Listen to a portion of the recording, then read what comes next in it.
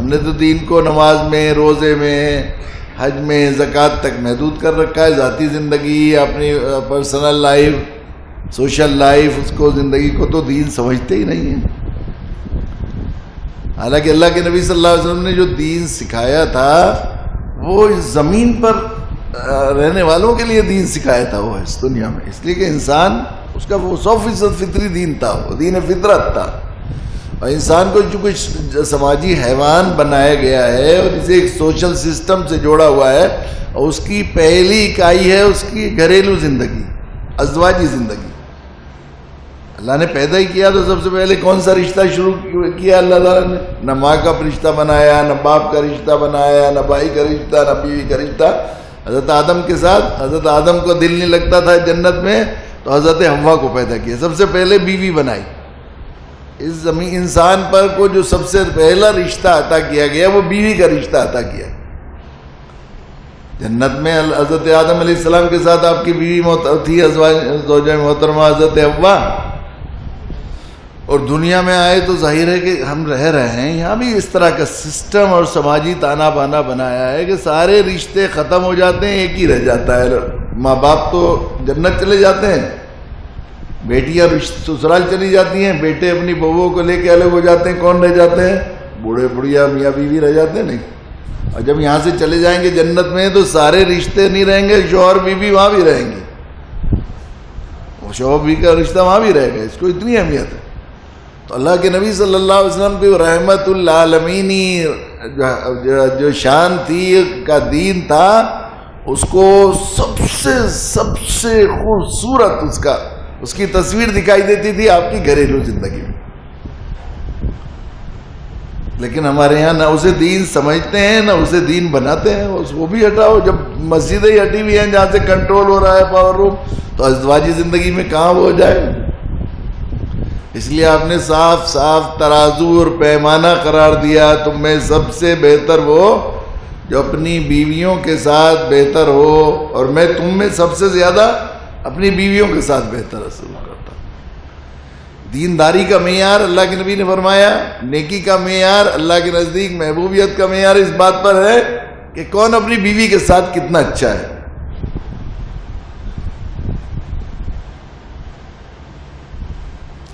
اس لیے ڈاکٹر عبدالحی صاحب کا بار بار ملفوظ سنایا جاتا ہے، حضرت تھانوی کے بہت ہی اجل خلفہ میں تھے۔ فرمایا کرتے تھے کہ مولوی ہونے کی صدر مدرسے والے دیں گے، میڈیکل ڈاکٹر ہونے کی صدر میڈیکل کالج والے اور اچھا اور نیک مسلمان ہونے کی صنعت دیں گی، ڈگری دیں گی، اہلیہ محترمہ، جن کی اہلیہ محترمہ کہیں تو اچھا۔ تو جب ہم اللہ کے نبی صلی اللہ علیہ وسلم کی ازدواجی زندگی کو دیکھتے ہیں، انتہائی خوشگوار زندگی۔ اس لیے میں کئی روز سے یہ بات کہہ رہا ہوں کہ یہ دین ہماری صرف آخرت نہیں بناتا، بلکہ دنیا بھی بناتا۔ ہے اگر ازدواجی زندگی خوشگوار ہے اور گھر میں گھٹن کا ماحول نہیں، کھلا ہوا ماحول ہے، بے تکلم ماحول ہے، محبت کا ماحول ہے۔ ایک دوسرے پر جان قربان کرنے کا ماحول ہے۔ وہ اسے دیکھ کر خوش ہو رہا ہے، وہ اسے دیکھ کر خوش ہو رہا ہے، وہ اس کی انتظار کر رہی ہے۔ گھر سے نکلا تو شوہر دروازہ کی گننے لگتی ہے۔ جب محبت ہوگی، تعلق ہوگا تو دروازہ دیکھنے جاتے ہی رخصت کرے گی کیسی اس کے ساتھ چابی کے ساتھ ستر دعائیں کر کے رخصت کرتی ہے وہ۔ جب محبت ہوگی تو اور پھر انتظار کرے گی، خیریت سے آ جائے، آتے ہی پھر استقبال کرے گی، خوش ہوگی تو تو گھر آنے کی ایک عجیب خوشی ہوگی، گھر جائیں گے تو کتنے غم بار سہے گا، کتنی تکلیفیں برداشت کرے گا۔ لیکن گھر آ کر آدمی گھر جانے کی خوشی میں وہ سارے غم اسے ہلکے لگے گھر جاؤں گا تو رات مل جائے گی، ریلیکس ہو جاؤں گا میں۔ گھر میں تو ہماری اتنی ایسے اللہ نے ایسی نعمت دے رکھی ہے۔ جب یہ ہوگا یہ دنیا بھی جنت ہوگی، دنیا بھی۔ اور وہ زندگی جو اللہ کے نبی صلی اللہ علیہ وسلم نے ازدواجی زندگی سکھائی، بہت ہی عامی زندگی ہے۔ وہ کوئی مشکل زندگی نہیں ہے۔ دیکھیے، شوہر بیوی ہیں، مزاج الگ، کسی کے مزاج تو بنتے نہیں۔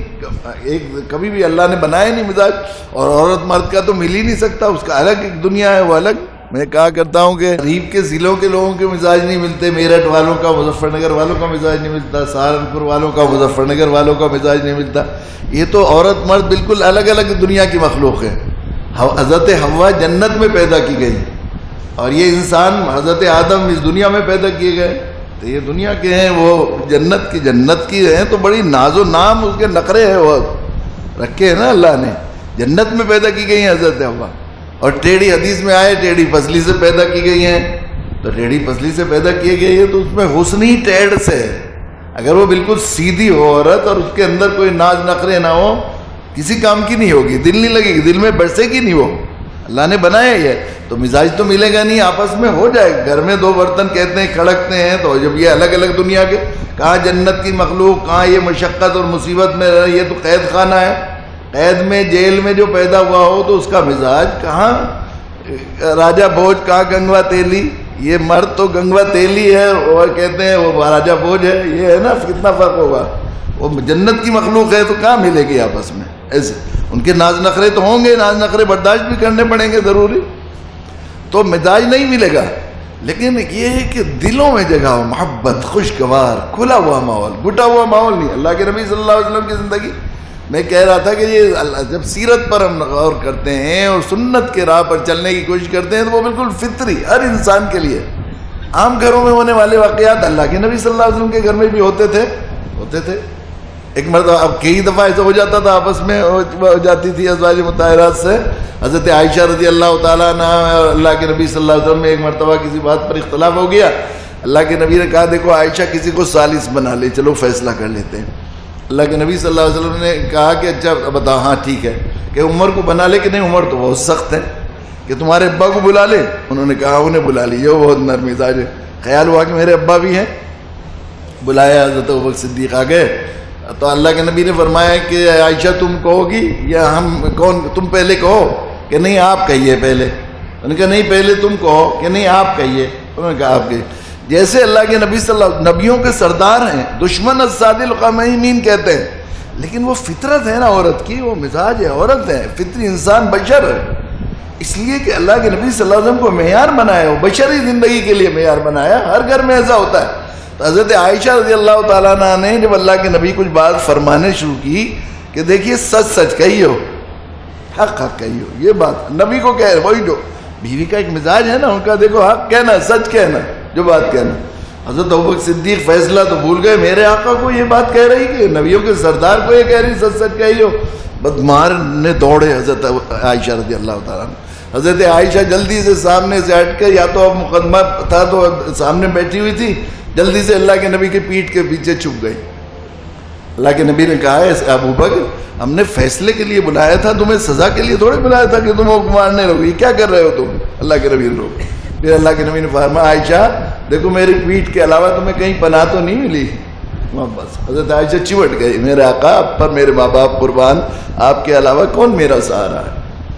کیسا، لیکن خوش، کیسا خوشگوار ماحول تھا، ہوتی تھی آپس میں، ہوتی تھی کہ اللہ کے نبی، اس وجہ سے بھی اللہ کے نبی کی ازواجی زندگی کو جب ہم دیکھتے ہیں، آپ اسے برابری کا معاملہ نہیں کرتے تھے کہ دو اینیمی ملک کے دو، وہ ہیں، وہ ادھر ہے، وہ ادھر ہے، اسے جیسا ہوتا ہے ہمارے یہاں، ہماری زندگی میں مسلمانوں کے ہے کہ ذرا سے کچھ بات ہوگی تو بس کسی طرح اس کو وہ چیز کہیں گے، وہ بات کہیں گے جس سے آخری درجے میں اس کا کلیجہ چلنی ہو۔ لڑائی میں ایسا لگتا ہے بالکل اینمی ملکوں کے دو باشندے ہیں جو ایک دوسرے کو بالکل زخ دینا چاہتے ہیں، یہ صورت حال ہو جاتی ہے۔ ایسے شکل جو چیز آخری درجہ اب اسے سسرال اور میکے کی برائی اور اس کو گالی دینے اور تکلیف پہنچانے جیس کی سامان کا تانا دینے سے سب سے زیادہ اسے تکلیف ہوتی ہے، چونکہ عورت کو میکے کی محبت گھٹی میں پڑی ہوئی ہے، اس کے دل میں پڑی ہوئی ہے۔ اللہ نے ڈالی ہے ایسے تو وہی بات چھیڑتا ہے شوہر۔ جب لڑائی ہوگی، گھر والوں کو کچھ نہ کچھ کہیں گے، یہ کہیں گے، تمہارے گھر والے ایسے، تمہارے یہ فلاں ہیں فلاں ہیں۔ اللہ کے نبی کی زندگی میں ہمیں ضرور برابر یہ نہیں ملتا تھا۔ بلکہ حیثیت دیکھیے، اتنا شوہر، اللہ کے نبی صلی اللہ علیہ وسلم اس فطری مزاج کو سمجھتے یہ کمزور ہے میرے گھر میں آئی ہوئی ہے میری ماتحت ہے، کوئی برابری کا معاملہ تھوڑا ہی ہے۔ اب مجھے اس پر ترس کھانا ہے، ہمدردی کرنی ہے۔ اب آپ دیکھیے، دین نے، شریعت نے، اسلام نے مرد کا کتنا درجہ رکھا، کتنا درجہ رکھا۔ مرد اللہ کے نبی صلی اللہ علیہ وسلم اشاد فرمایا کہ اگر میں سجدے کا حکم دیتا تو بیوی کو حکم دیتا کہ شوہر کو سجدہ کرے۔ اب اس سے زیادہ تو اور کوئی مقام اور مرتبہ بتایا نہیں جا سکتا، اور اس سے کیا زیادہ مقام ہو سکتا ہے؟ بڑے فضائل بیان کیے۔ اور جب ازواج مطالعات جو ہے وہ اللہ کے نبی صلی اللہ علیہ وسلم سے کبھی کوئی بات ہوتی تھی کھٹ پٹ تو اللہ تعالیٰ نے قرآن مجید میں بار بار وارننگ تمبی ڈانٹ پلائی۔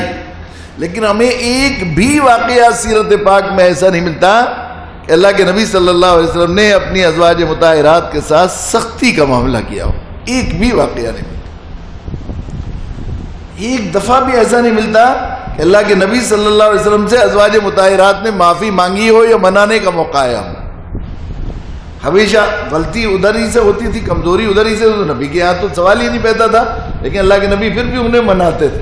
کیسے مناتے تھے؟ بار بار منانے کی کوشش کرتے تھے۔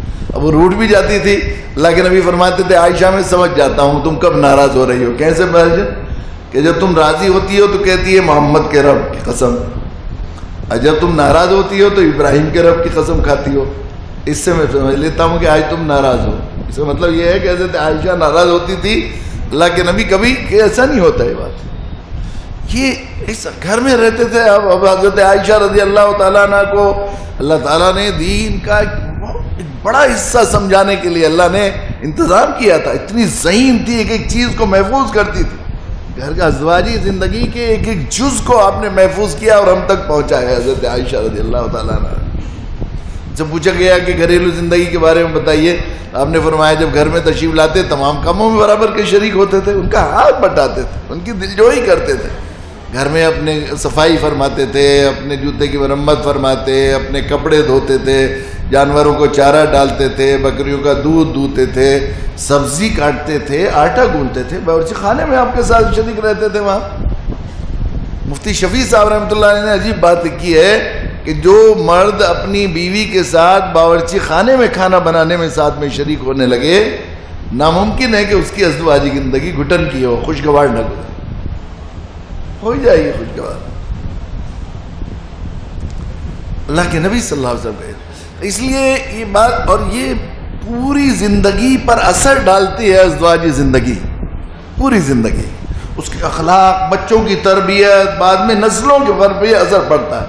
ازدواجی زندگی کی خوشگواری میں پلی ہوئی نسلیں اور ان کی نسلوں میں ایک عجیب اخلاق اور, اور سوچ پازیٹیو بن جاتی ہے۔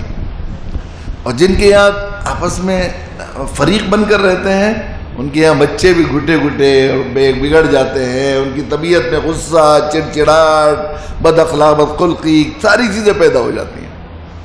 سلام ہو پر اللہ کے نبی صلی اللہ علیہ وسلم نے ایسا پیارا دین